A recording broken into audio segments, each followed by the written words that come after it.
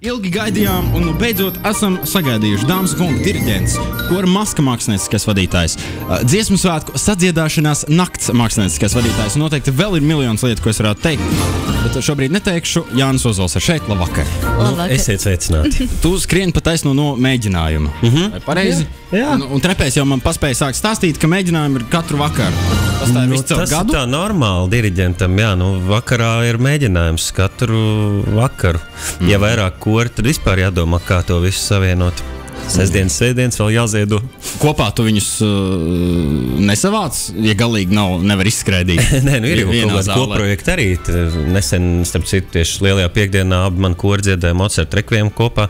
Bet nu, tā jau katrs koris grib kaut ko savu darīt. Kors uz kora nav greizsirdīgs. Nu, nu ir jau bišķi. Nu, Tā, tā, tā jau viss ir draugi. Nu, protams, ka draugiem.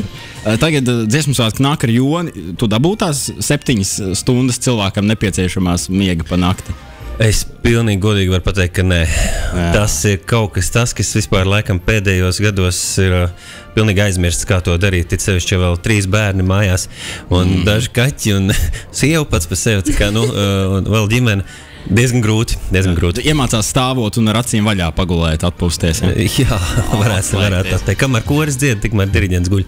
Vai gatavoties dziesmu svētkiem, tu diriģē arī sapņos? Sapņos vispār šie jautājumi tādi, ka viņi mulsina pilnīgi. Es vienkārši lieku tev padomāt par, Par ko? Sapņu Par par sapņu pasauli, par, par rokām un sapņu pasauli. Nē, nē, nu, dažreiz laikam arī, arī sanācis uh, sap, sapņos padarīt, bet par dziesmu svētkiem es gan nezinu, vai es esmu šajā sapņos. To, to man grūti Vēl laiks pasapņot. Jā. Nu, labi, šo, šovakar, šonakt mēģināšu jā, mm. izpildīt uzdevumu.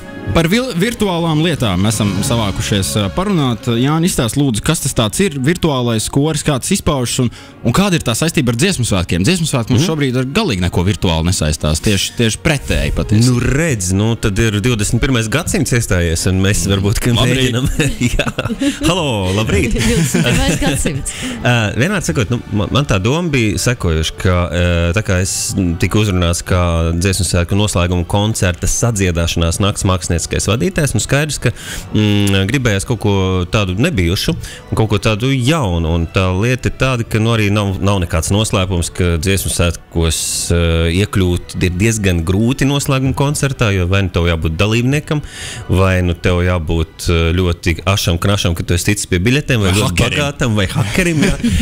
Un, uh, un īstenībā man tā doma bija tāda, ka man ļoti gribējās, lai arī tādi cilvēki, kas varbūt pat nevarēja sev iedomāties uz lielās dziesmu svētku estrādes, uh, varētu tur nokļūt. Proti, Mēs esam izveidojuši tādu aplikāciju, dziedot, kur var mācīties dziedāt. eh, Un, eh, nu, īstenībā, iesaku visiem ielādēt telefonos, tas galīgi nav grūti un ļoti ātri. Eh, Un ļoti vienkārši var iemācīties dažas tautas dziesmas. Mm, Latviešu tautas dziesmas, protams, nevis lietuviešu, ne igauņu, bet latviešu tautas dziesmas. Un īstenībā smuki iedziedāt tumša nakti zaļa zāle, vienu mazu posmiņu. Un to nofilmēt, un tā aplikācija to smuki apstrādās, un tevi cilvēku, kurš varbūt ir Briselē, varbūt uh, Hongkongā, varbūt vienkārši nekad nav domājis, ka varētu kaut kā mežparkā tikt iekšā, iemontēs uz ekrāna un tavu balsi kopā ar lielo kopkori, es ļoti ceru, um, varēs dzirdēt sadziedāšanās naktī, un tu virtuāli būsi. Dziesmu svētku dalībnieks. Tu virtuāli dziedāsi uz lielās dziesmu svētku estrādes, un varbūt pat Latvijas televīzija ar savu kameru noķers tieši tavu seju tur. Tas ir, tā ir lieliski iespēja, jo tiem uh, koristiem, kas ir uz skatuves reāli noslēguma koncertā, viņiem nav tā iespēja sēdēt, nu, pēc tam ir, bet tajā brīdī sēdēt pie televizora ekrāna un meklēt sevi. Tagad tu vari sēdēt divānā un skatīties uz sevi, Un kā zināt, tu ka tu tur dziedi. Mežs par lielu estrādē. Par to dziedāšanu runājot, vai ļauts iedziedāt arī tad, ja, kā saka, lācis uzkāpjas uz ausīm? Tieši tādus mēs glāčus ļoti gribētu dzirdēt. Tie tiks iekšā. Tieši. Es nevaru garantēt, ka viņi tiks iekšā, bet īstenībā bieži vien ir tā, ka cilvēks pats sevi nokritizē par daudz. un Viņš saka, es nevaru dziedāt, man nesanāk, es esmu lācis. Un, ziniet, un bieži vien tā nav taisnība.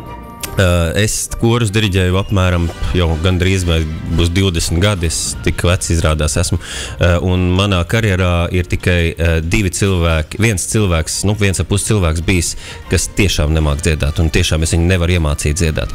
Visus pārējos es esmu apmācījis un vispārējie ir sākuši dziedāt. Uh, Kas nozīmē, es, es gribu teikt, ka nevienam īsti tas lācis tik dziļi nevar uzkāpt uz ausīm. Tieši tāpēc ir šī aplikācija. Dziedot, jūs varat pārbaudīt sevi. Uh, jūs varat izdziedāt, apstīties, vai tas putniņš izlido. Nu, tur jāvada ar balss augstumu putniņš, ja cauri tādiem labirintiem, vai tas putniņš izlido pareizi.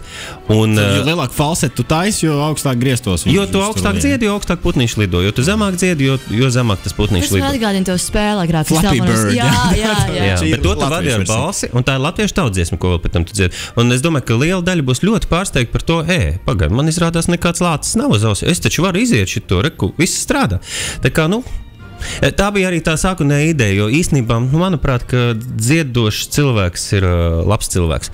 Dziedāt vajag uh, vairāk, dziedāt vajag visiem, un nevajag kautrēties dziedāt. Un, nu, šajā gadījumā tu vari ielādēt to aplikāciju, nu, neej uzreiz kopā ar visiem dziedāt. Pamēģini viens pats mājās. Manas istabā. Vannas istabā, Dušā. dušā, un tu redzēsi, visdrīzāk tev pat sanāks. Es ceru, ka kāds iesūtīs video, kur viņš dzied dušā. Jā. Es arī. Nē, tu- Cenzētā versija nonāks. Tur gan ir kaut kādi daži nu- parametri, gal- jāievēro. Tad uh, mazliet atgriežoties pie tā, ko tu stāstīji pirms brīža, es esmu ar daudziem cilvēkiem par šo strīdējies. Vai tu šobrīd, kā diriģents, stāvot šeit, esi gatavs apgalvot, ka ik katrs var iemācīties dziedāt? Es tātad nevaru apgalvot, ka ik katrs, jo tomēr arī manā karjerā ir bijuši tie pusotras lācis, bet mm. uh, gandrīz visi var. Mm -hmm. Tātad tie, to izcilo, izcilo talantu ir tieši tikpat daudz, cik to, kas vispār, vispār nevar. Nu, Tas kā, nu, nē, ir, ir, ir, protams, tādi cilvēki, kas vienkārši piedzimst liela dziedātāja, piemēram, Luciano Pavarotti. Nu, viņš pat muzikas skolā nebija gājis, viņš pat notis nepazina, bet viņš vienkārši viņa balss bija tāda, kas nu, visa pasaule par viņu zina vēl joprojām.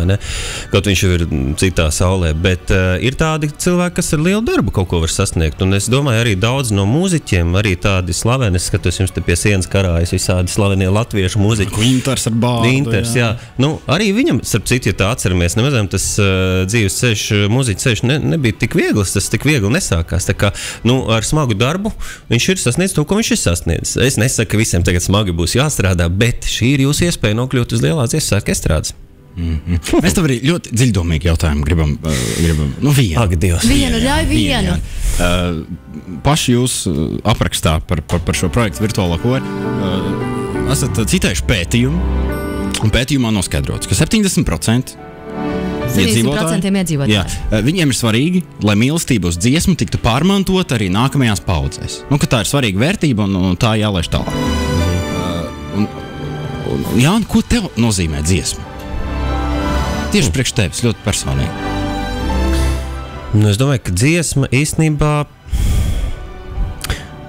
Nu, man nozīmē visu. Gan jau, ka jā, nu es, tā, ir, tā, ir, tā ir mana dzīves sastāvdaļa, tā ir mana profesija. Nu, bez, dziesmas, bez dziesmas man nebūtu ko darīt.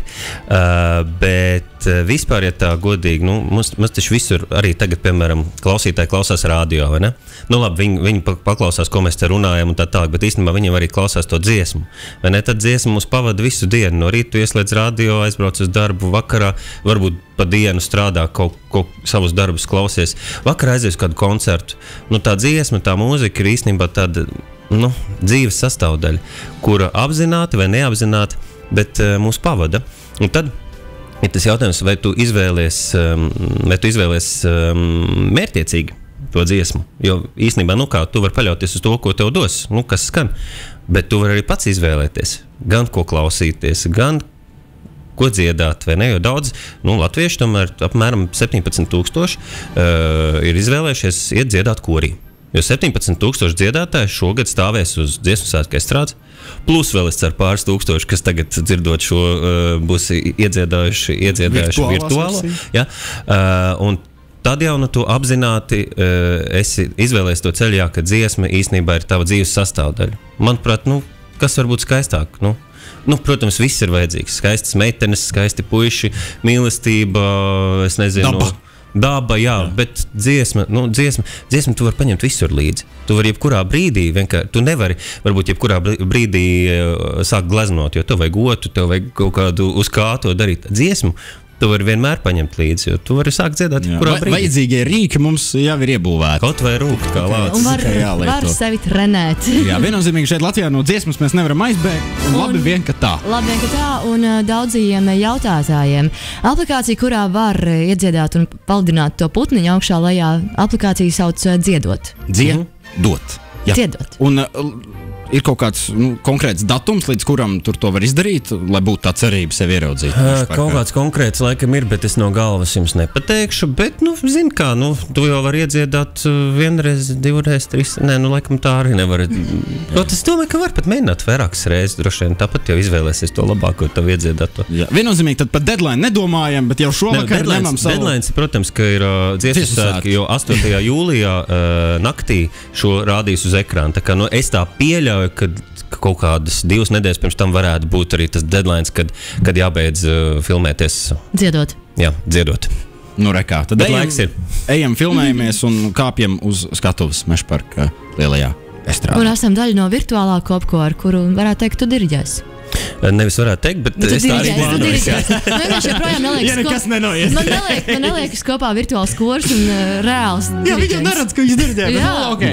Jā, tiešām. Viss, viss ir jau galvā. neklausīs Bet tie tur būs arī tur būs arī dzīvē. Tur būs arī dzīvē. Paldies, tev, Jānis, ka atskrēji, lai to Vēl foršu. skrien atpakaļ uz mēģinājumu. Skrien Jā. atpakaļ uz mēģinājumu. Tiešām skrien atpakaļ. nē, nē, viss diena beigusies. Jā, pagulēt. pagulēt, jā. Paldies, ka atnāca Jānis Ozols, diriģents ciemos pie mums. Šis ir pieci.